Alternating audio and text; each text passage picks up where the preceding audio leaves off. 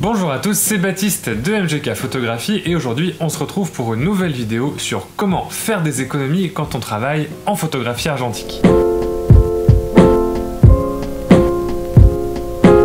Ce qu'il y a de sympa avec la photographie argentique, c'est que le matériel de base ne coûte pas cher. On peut trouver facilement un boîtier, réflexe et un objectif pour moins de 100 euros et commencer à faire de la photo facilement pour un tout petit budget. Le problème de la photographie argentique, et c'est encore bien souvent ce qu'on lui reproche par rapport au numérique, c'est que les frais s'accumulent au fur et à mesure entre l'achat des pellicules, le développement, le scan, le tirage, etc. etc. et qu'au fur et à mesure, même si on a payé le matériel pas très cher au départ, sur un an de pratique, la facture peut s'avérer relativement élevée. Dans cette vidéo, je vais essayer de vous donner des petits conseils pour réduire la facture soit sur le moyen long terme, soit directement sur le court terme, pour réduire globalement la facture de votre pratique argentique. Petit conseil qui peut être sympa quand on a le choix entre acheter de la pellicule ou boire une bouteille de révélateur pour se nourrir. Le premier conseil que je peux vous donner, c'est lorsque vous êtes un petit peu ricrac pour acheter du film, euh, vous pouvez regarder sur internet, sur le bon coin ou sur eBay pour des lots de pellicules périmées. Ça se trouve encore relativement facilement à tous les prix selon l'âge du stock de pellicules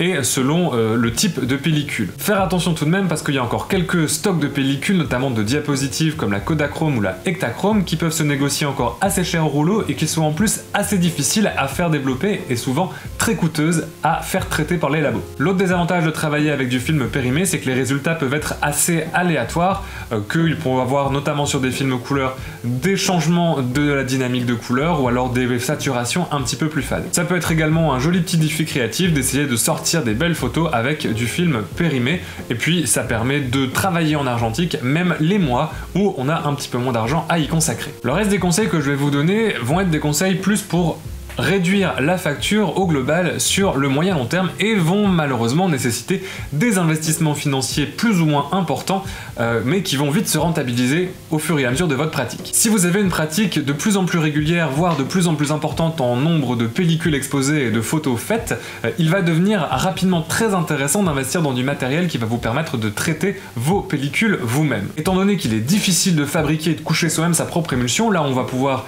faire des économies, ça va être sur le post-traitement de euh, nos pellicules, c'est-à-dire pouvoir faire le maximum de choses soi-même à la maison et dépendre le moins possible de prestataires extérieurs comme les labos photos. Le premier investissement que je vous conseillerais de faire, c'est de trouver un scanner pour vos pellicules. Alors pourquoi commencer par un scanner? Parce que tout simplement c'est souvent la prestation qui coûte le plus cher à faire effectuer par des prestataires extérieurs. D'expérience, effectivement, le scan de pellicule coûte à peu près une dizaine d'euros selon la résolution, selon le retraitement de votre labo et même selon le type de labo auquel vous vous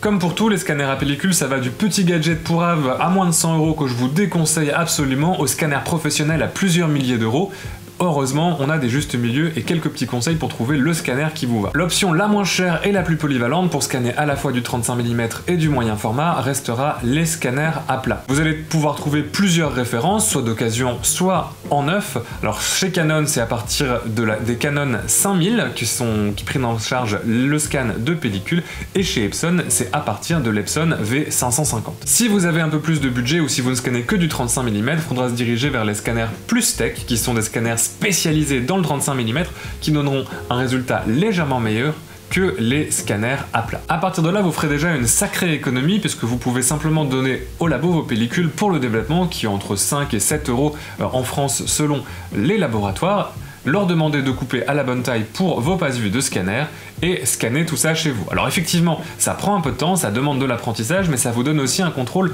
plus en avant sur vos images. Effectivement, comme je l'ai expliqué dans cette vidéo, scanner soi-même c'est négatif, ça va vous permettre de les scanner comme vous voulez, avec la dynamique de couleur que vous voulez, et de retoucher plus facilement vos fichiers avec des outils numériques, et donc d'avoir un meilleur contrôle sur vos images. La deuxième chose qu'on va pouvoir faire pour réduire les coûts en argentique, c'est passer au développement à la maison. Développer ces films chez soi, ça fait un petit peu peur quand on y pense, mais finalement quand on s'y met, c'est extrêmement facile, que ce soit pour les films noir et blanc ou pour la couleur. L'investissement de départ peut être un petit peu important quand on achète le matériel de base et toutes les différentes chimies pour traiter l'ensemble des films que l'on veut, mais sur le long terme, c'est vraiment très rentable. Pour vous donner une idée, neuf, il faut compter entre 150 et 250 euros pour un kit qui permettra de développer à la fois de la couleur et du noir et blanc. L'avantage, c'est qu'une fois qu'on a les cuves de développement, on n'a plus qu'à racheter au fur et à mesure les chimies, et que le prix de développement par film tombe très très vite. Pour vous donner une idée, en noir et blanc, on tombe facilement à 90 centimes le développement par pellicule, ce qui est totalement ridicule par rapport aux 6, 7, 8 voire 10 euros que peuvent demander certains labos. Pour ce qui est de la chimie couleur, le gain est un petit peu moins élevé puisque les chimies coûtent un petit peu plus cher,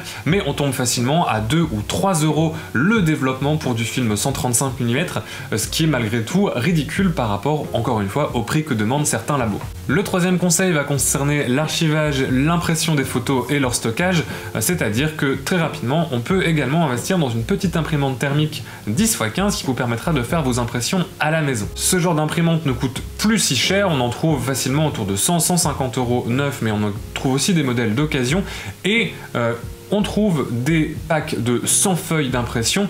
pour environ une trentaine d'euros. Ça revient à peu près 30 centimes le tirage photo, ça reste encore plus cher que dans certains labos, mais l'avantage c'est que vous pouvez le faire directement de chez vous sans avoir à vous déplacer. Le petit plus de faire cette démarche et de faire ces investissements qui vous feront gagner de l'argent finalement sur le long terme, c'est qu'en plus de vous faire économiser des sous, ça vous apprend de nouvelles choses et ça vous donne un meilleur contrôle sur vos images en définitive. Aujourd'hui, il est très facile de disposer d'un labo photo chez soi avec les outils numériques, que ce soit la possibilité de retoucher ces images sur un ordinateur, la possibilité de les imprimer directement avec une qualité quasi studio sur des imprimantes 10-15, euh, ça vous donne un contrôle total sur votre image. De même, le développement, ça va vous permettre de jouer avec différentes chimies, de jouer avec différentes manières de développer, notamment sur du film noir et blanc, et ça va vous permettre d'expérimenter encore plus cette expérience de la photo argentique et de découvrir encore de nouvelles manières de créer, de modifier et d'interpréter vos images. ce qui est toujours compliqué avec l'argentique, c'est qu'effectivement, il faut toujours investir de l'argent dans du matériel,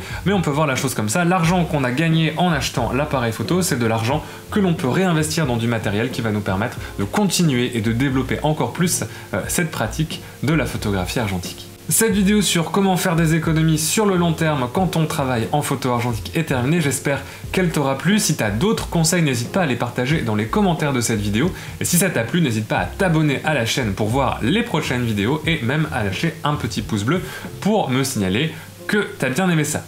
Je te retrouve très bientôt, en attendant je te souhaite de faire de bonnes photos.